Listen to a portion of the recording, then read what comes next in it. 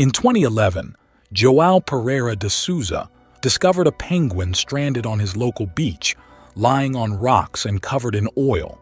The penguin was in critical condition, barely able to move, and close to death. Joao cleaned the oil off the penguin's feathers and provided a daily diet of fish to restore its strength. He affectionately named the penguin Jinjing. Jinjing stayed with Joao for 11 months, and then, just after changing his coat with new feathers, he disappeared. Several months later, Joao heard a loud squawk coming from his backyard, and Jinjing was there, waiting for him, and the two were joyfully reunited.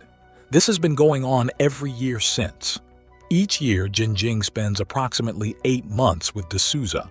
He swims back to Patagonia in February for breeding and returns to the island in June, covering a remarkable distance of over 5,000 miles.